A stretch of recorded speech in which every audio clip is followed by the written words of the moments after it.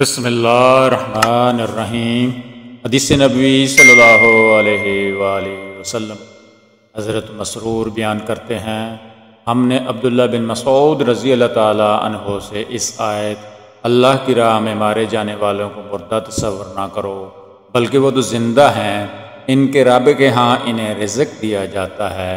के बारे में दरियाफ़त किया तो उन्होंने फरमाया हमने इसके मतलब रसूल अलैहि वसल्लम से दरियाफ़त किया।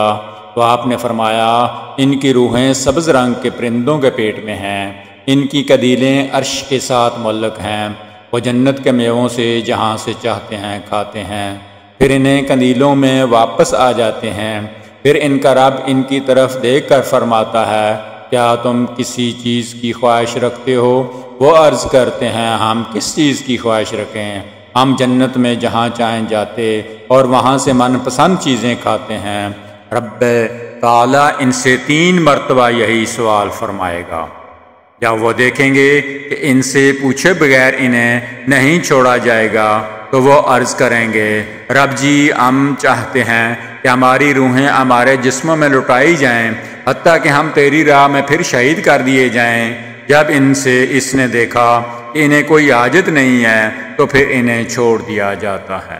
रावी मुस्लिम, मिशकात शरीफ, अदीस नंबर तीन हज़ार आठ, तीन हज़ार आठ सौ चार।